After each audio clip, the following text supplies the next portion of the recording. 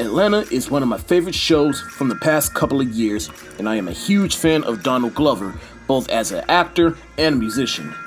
But now we finally got the long awaited season 3 of Atlanta. The first two seasons were excellent because of its unique Afro surreal take on black culture through the lens of four friends in Atlanta, and I was excited to see what they would do in season 3.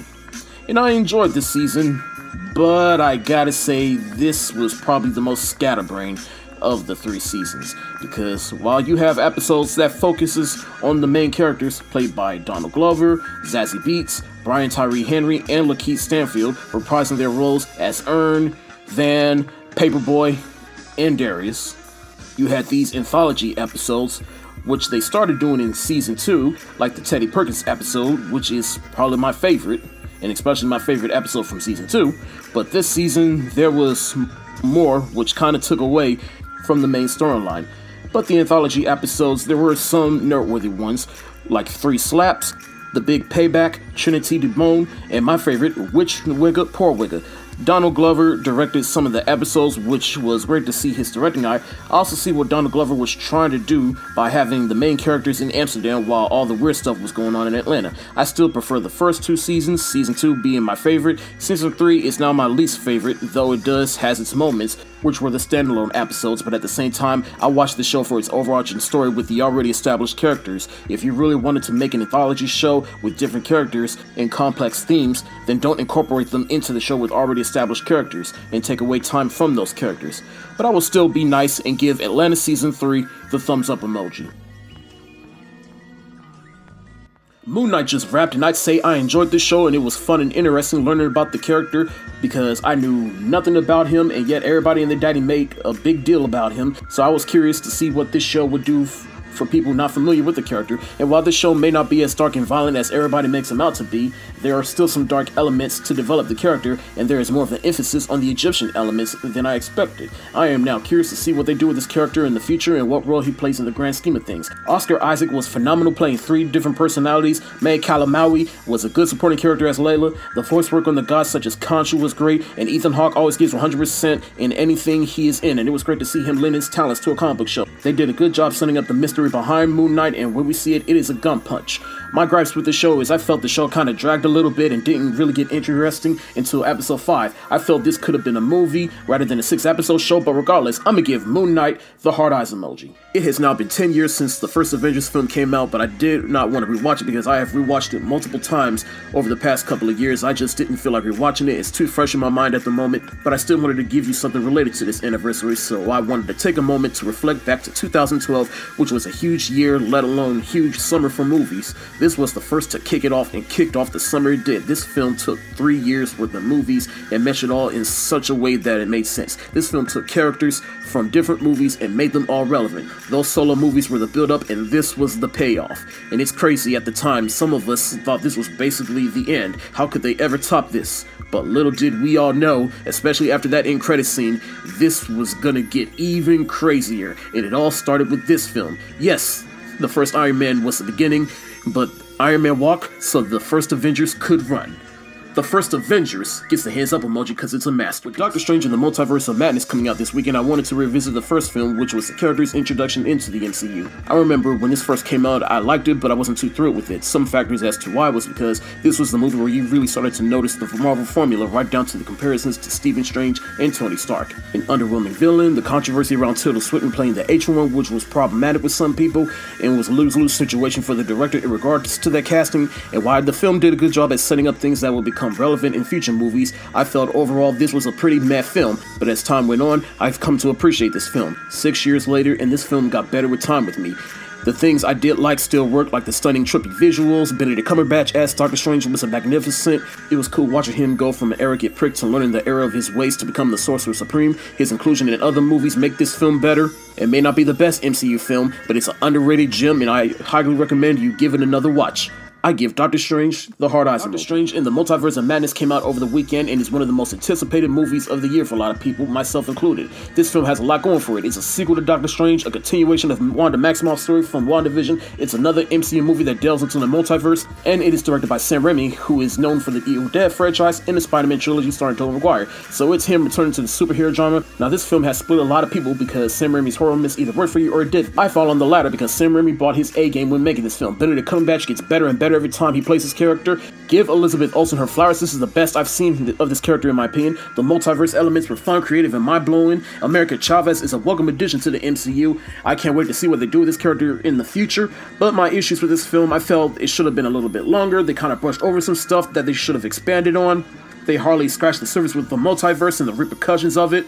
I'll give my spoiler review next week so I can give this film time to marinate, but for now, I'm gonna give Doctor Strange in the Multiverse of Madness the thumbs up emoji. It has now been a week since Doctor Strange in the Multiverse of Madness came out, and now that I've had time to marinate on how I feel about this film, I'm a rapid fire, spoilers and all. I love Doctor Strange's arc throughout the movie, which is is he happy and why he couldn't be with Christine, which concludes their arc in my opinion. Give Elizabeth Olsen her flowers because this is the best she has ever acted at this character, even though it contradicts her character in WandaVision because she is just downright evil. She didn't waste no time showing her true intentions. I know Wong held it down for five years, but is it really fair for him to still be the Sorcerer Supreme? All the multiverse stuff was batshit crazy. I can't wait to watch my home video. That second in credits scene made me roll my eyes, but I love Bruce Campbell. I got nothing on the first one. I wish we could have gotten more of our universe's version of Mordo instead of this alternate version. And as for the Illuminati, I love seeing returning characters and actors in different roles than their prime universe's counterparts. I love the horror elements, especially what happens with Black Bolt in a in a scene involving a mirror. Despite how small this was as an MCU multiverse movie, I still enjoyed it and there's still room for it in the future and I still stand by my rating. Chip 'n Dale Rescue Rangers, the movie was released on Disney Plus over the weekend, and it's not necessarily a continuation of the beloved cartoon from the 90s, but a successor to the film Who Framed Roger Rabbit. And I really mean that because when I saw this, I thought this was Disney trying to do their own Space Jam, but turns out that this is perhaps the best live action animation hybrid film since Who Framed Roger Rabbit. It's been years since Chip and Dale been together since the show ended and are on two paths currently in life. But after one of their rescue rangers pals goes missing, fate brings them back together to solve this mystery and it happens to take place in a world where animated characters exist, just like Roger Rabbit. The other thing I was surprised with was that this could have easily been Disney along with other studios that produce animated content just being self-indulgent and they were at times, but this movie still had a heart. Chip and Dale are the heart of the story, and the movie emphasizes their friendship. But of course, the cameos, Easter eggs, and references to other animated stuff was the highlight, and I thought it was all used sparingly while also taking digs at the current state of animated content, both past and present. They particularly do something that nobody expected, and I was surprised that the studio that did this version of the character allowed this to happen. If you've seen this movie, you know what I'm talking about. John Mulaney, Andy Samberg fit into the voice roles perfectly. Of course, I like the two leads. They are animated differently. Chip remains hand-drawn, while Dale is CGI. And I gotta say, Dale doesn't even look bad as CGI, unlike some other famous cartoon chipmunks.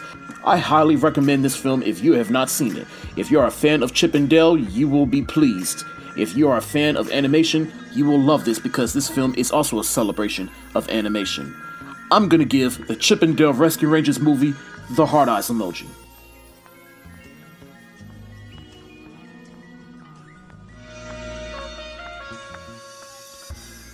I finally got a chance to watch The Northman, which has been getting a lot of acclaim from both critics and audiences. Too bad that isn't reflected in the box office. Regardless, I will say this was a brilliantly made film with good production value, solid cast giving phenomenal performances, and the director really put his foot in this one. Now, the best way I can describe the plot of this film is The Lion King. And I don't mean that as an insult to the film, I really mean this is like The Lion King. But there is a twist that I did not see coming, and it elevates this movie up for me. It's about a young prince that is denied the throne when tragedy happens, so he runs away for several years. He vows to get revenge for his father, save his mother, and kill his own uncle, and comes back vowing those ideals he does. But he also learns some heartbreaking revelations about his family and that not everything is what it seems, especially how it changes his perception under different contexts and circumstances. Acting wise, Alexander Skarsgård, Anya Taylor-Joy, Nicole Kidman, and Claes Bang are the standouts. Robert Eggers, who is known for directing The Lighthouse, his direction really elevates this material by making it grand and epic. My only gripe is that the pacing at times was a bit slow. There were a few times where I was like, this movie could use a little dose of get a fucking move on. But when it got going, it got going, especially during the final fight in the climax of the movie.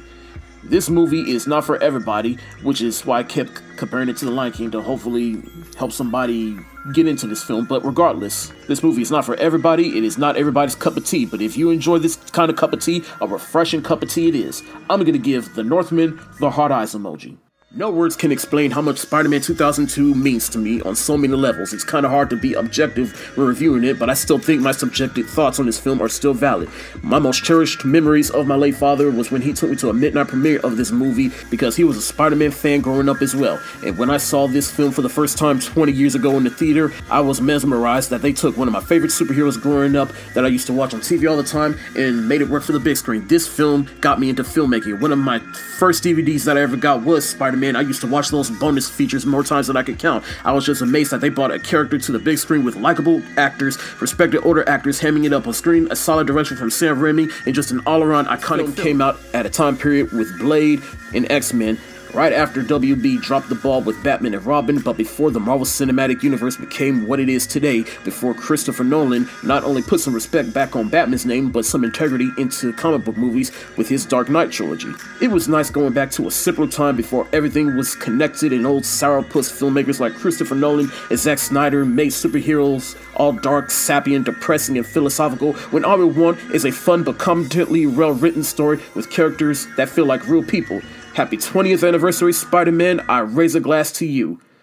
Hands up emoji, because it is a masterpiece. After revisiting the first film, I wanted to go ahead and just revisit the rest of the trilogy. While the first film is one of my favorite films of all time, Spider Man 2 is not only my favorite Spider Man film, if that makes sense, but it's also what I think is the best Spider Man film. Yes, over Into the Spider Verse and No Way Home. This film stepped it up in every way possible by really testing Peter Parker in ways that worked because he is just trying to balance his life as Peter Parker and Spider Man, which doesn't work, so he quits Life is good, but is reminded why he is Spider Man. To me, this character is at his best when he is tested but continues to fight the good fight even if he has to give up the things he wants the most. But he does get MJ in the end. And it would be redundant for me to say that Alfred Molina kills it as Doc Ock. We all know he does. Sam really, really took what worked about the first film and amplified it and advanced the characters in ways that work. Everybody has their opinion on what they think is the best Spider Man film, and that's fine. But for me, this is the best because not only works as a Spider Man film, but it is a great film, period. And of course, one of the best Spider Man sequels. I'm gonna give Spider-Man 2 the hands up emoji because it's a master. Spider-Man 3 is without a doubt where it all went wrong, which is a bummer because it came out such a strong film with Spider-Man 2. But that does not mean Spider-Man 3 doesn't have its moments. But if I can sum up my issues with this film, it is scatterbrained. This script does not know how to balance the plots and the characters that are in this film. There's a lot of moments within the film I wish somebody would tap Sam Raimi's shoulder and be like, hey, that's stupid. Let's not do that. Such as Harry Osborn's butler telling him at the last second that he knows what happened to his father, the scientist guy being too lazy to confirm what activities going on in the collider pit that made the Sandman, and of course course, these scenes.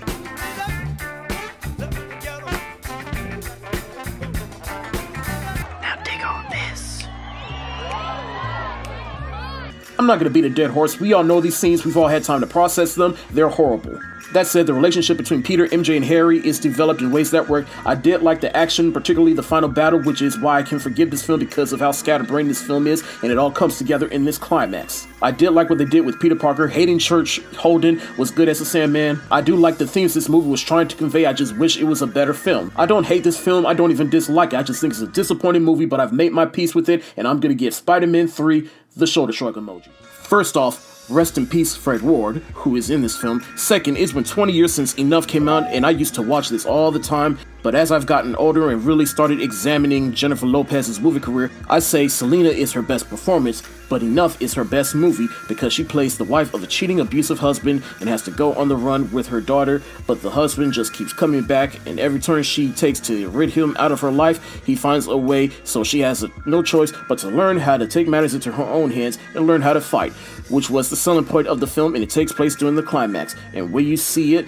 you cheer for her. Jennifer Lopez, of course, works because she plays a mother in distress, and by the climax, she does a complete 180 and becomes a badass, and it is kind of believable. Selena and Enough are without a doubt, in my very humble opinion, her two best movies. I'm gonna give Enough the thumbs up emoji.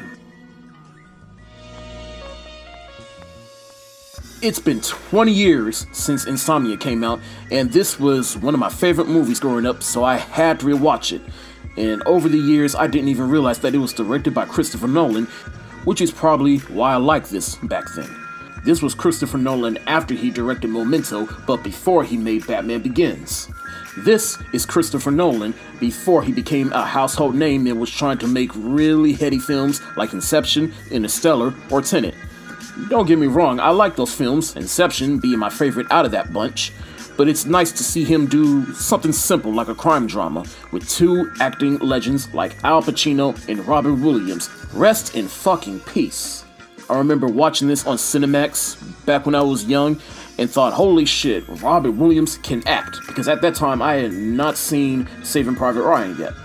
This film to me holds up because it's compelling story about a, an alleged killer putting a cop through a moral gray area in his career in law enforcement when the cop accidentally does something horrific and is affecting his will to sleep, which stresses me out just watching.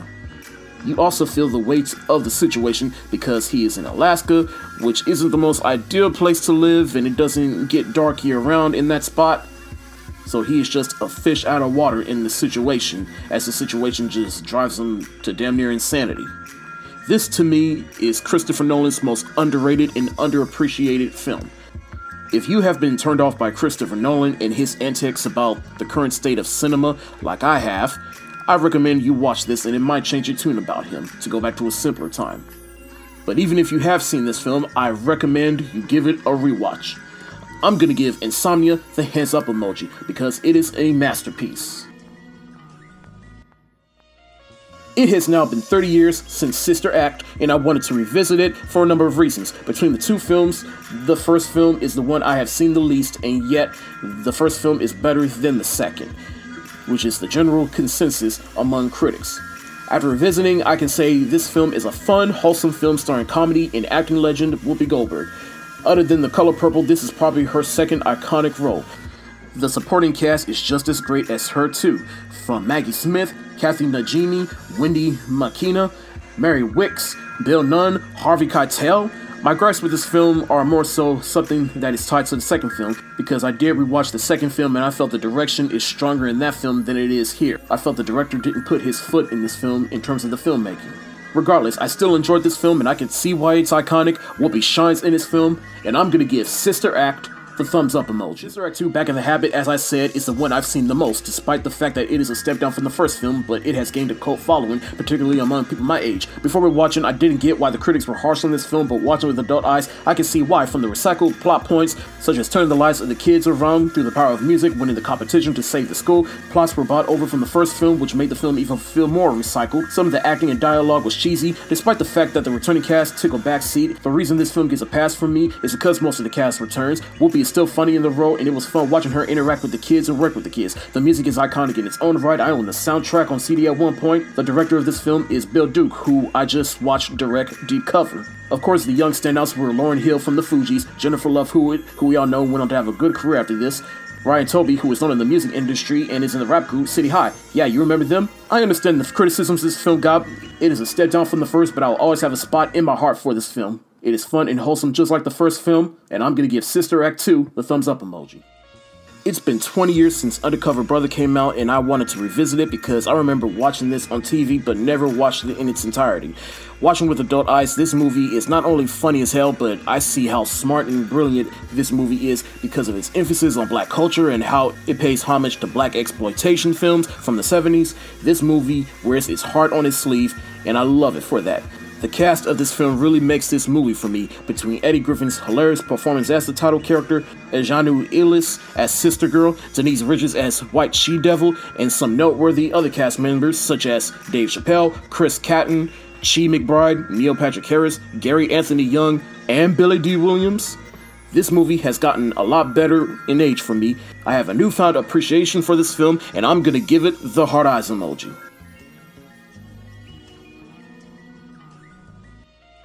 It has now been 30 years since Sister Act, and I wanted to revisit it for a number of reasons. Between the two films, the first film is the one I have seen the least, and yet the first film is better than the second, which is the general consensus among critics. After revisiting, I can say this film is a fun, wholesome film starring comedy and acting legend Whoopi Goldberg. Other than The Color Purple, this is probably her second iconic role. The supporting cast is just as great as her too, from Maggie Smith, Kathy Najimy, Wendy Makena, Mary Wickes, Bill Nunn, Harvey Keitel. My gripes with this film are more so something that is tied to the second film, because I did rewatch the second film and I felt the direction is stronger in that film than it is here. I felt the director didn't put his foot in this film in terms of the filmmaking. Regardless, I still enjoyed this film and I can see why it's iconic, Whoopi shines in this film, and I'm gonna give Sister Act the thumbs up emoji. Act 2 Back in the Habit, as I said, is the one I've seen the most, despite the fact that it is a step down from the first film, but it has gained a cult following, particularly among people my age. Before we watching, I didn't get why the critics were harsh on this film, but watching with adult eyes, I can see why from the recycled plot points, such as turning the lives of the kids around through the power of music, winning the competition to save the school. Plots were bought over from the first film, which made the film even feel more recycled. Some of the acting and dialogue was cheesy, despite the fact that the returning cast took a back seat. The reason this film gets a pass from me is because most of the cast returns. Whoopi is still funny in the role, and it was fun watching her interact with the kids and work with the kids. The music is iconic in its own right. I own the soundtrack on CD at one point. The director of this film is Bill Duke, who I just watched direct Deep Cover. Of course, the young standouts were Lauryn Hill from the Fugees, Jennifer Love Hewitt, who we all know went on to have a good career after this, Ryan Toby, who is known in the music industry and is in the rap group City High. Yeah, you remember them? I understand the criticisms this film got. It is a step down from the first, but I'll always have a spot in my heart for this film. It is fun and wholesome just like the first film, and I'm gonna give Sister Act 2 the thumbs up emoji. I had never seen any of the Lethal Weapon films, and the third film is getting an anniversary this month, plus I own the series on Blu-ray. That way I'd be ready to watch them all for the first time when I'm ready, and the time has come for that, so for the first film, especially in context with the rest of the series, is the darkest of the four, but it's still iconic for so many reasons, such as the duel between Martin Riggs and Roger Murtaugh, played by Mel Gibson and Danny Glover, which are for sure some of their most iconic roles. Mel Gibson's story is the heart of the story and would continue to be the heart throughout the series. Shane Black's writing and Richard Donner's direction go hand in hand to make this an excellent buddy cop film that is iconic and excellent. Despite the fact that I wouldn't say this is the series at its most refined, it is still one of, if not the best in the series. Or maybe I'm just looking for a flaw because I don't want to be quick to give this my highest rating just because it is a classic. But Lethal Weapon still gets the hard eyes emoji.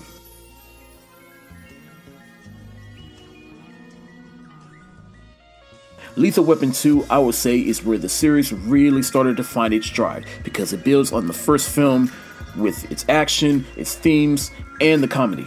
Joe Pesci is a welcome addition to the series. The toilet bomb scene was one of the funniest things I have ever seen in an action movie, but somehow kept me on the edge of my seat the whole time.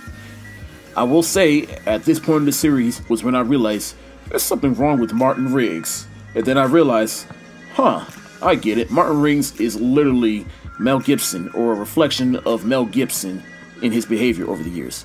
As the series goes on, I've come to appreciate Danny Glover more, and I've already appreciated him. And this is also the film where I appreciated the family element in this film. So because of that, I'm going to give Lethal Weapon 2 the hard eyes emoji. Lethal Weapon 3 is celebrating its 30th anniversary, which is the whole reason why I am watching this series for the first time. Now, this may not be everybody's favorite in the series, but I am digging where Riggs and Murtaugh are in their journey in this film. Murtaugh is coming to terms with getting old because he is getting too old for this shit, and he is about to retire. Riggs is coming even more back to life because they give him a love interest played by Rene Russo, and she holds her own on an acting and action level. Joe Pesci returns as Leo, which is not only a welcome addition but a good reoccurring character. My favorite scene in this film is when Murtaugh is at his most vulnerable when he gets drunk and he has a heart to heart with Riggs. This would have made for a good end of a trilogy, but of course there is more left to be done in the next film. I'm gonna give Lethal Weapon 3 the thumbs up emoji. Lethal Weapon 4, I remember seeing bits and pieces of it on TV, but I had never watched it in its entirety, so I'm considering this a first time watch for me. It is also the one that people my age have seen the most, mainly for Jet Li, who is a welcome addition to the series, as well as Chris Rock, who was hilarious, and I loved his interactions with Joe Pesci in the film. I can also see why people my age like this film, not only for those things alone, but because of how the film concludes Riggs and Murtaugh's story in a fun, emotional, and satisfying way. I love leave Riggs at the end of the film and how he has integrated with the Murtaugh family throughout the series, which sets up the theme of family for the series. My only gripe is that they, they did overdid it at times with the comedy, and the action did get a bit silly at times, but I was thoroughly satisfied with this film as well as watching this series for the first time. I'm gonna give Lethal Weapon 4 the hard eyes emoji.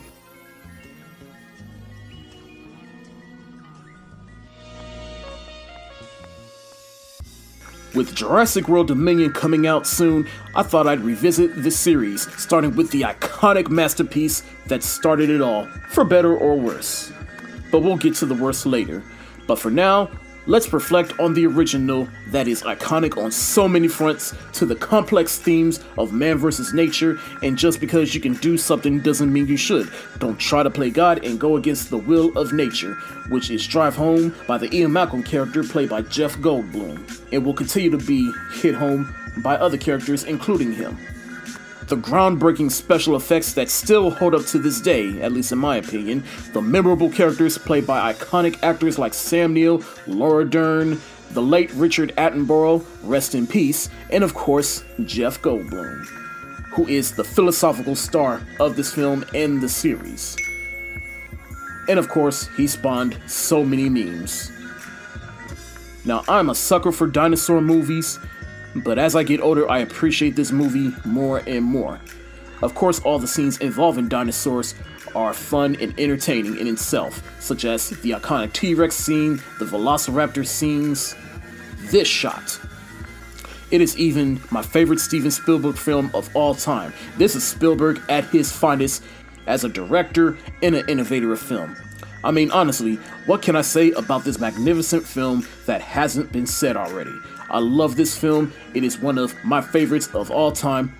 And I'm going to give Jurassic Park the hands up emoji because it is a masterpiece.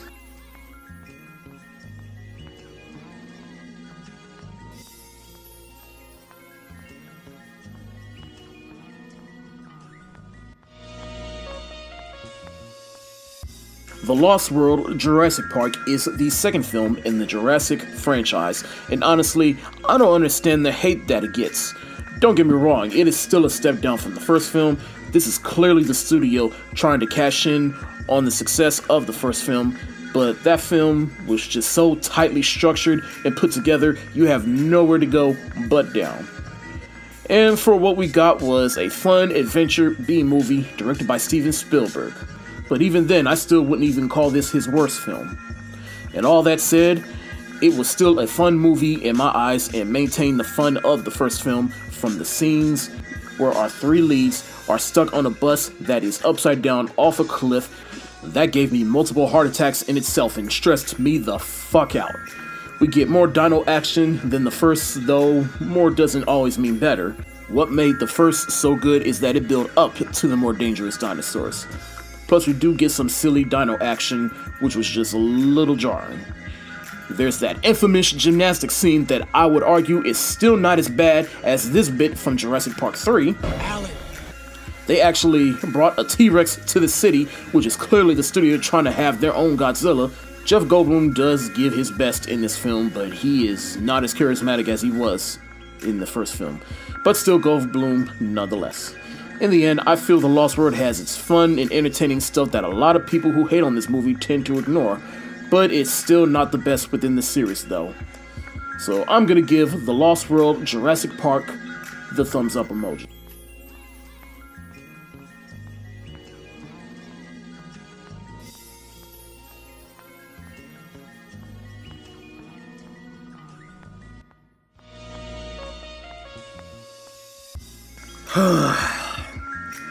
So next up is Jurassic Park 3, and whether you like or dislike The Lost World, a lot of people would agree that this is where the series really started to go off the rails. Gone is the intelligent themes and carefully constructed special effects. And it is the first time that Spielberg is not directing one of these. And you can tell it is a downgrade in quality from the first film from a narrative standpoint and a special effects standpoint. The practical effects specifically the mechanical dinosaurs look like theme park animatronics. The CGI does not hold up, even by. and I swear to God, the characters are dumb as hell.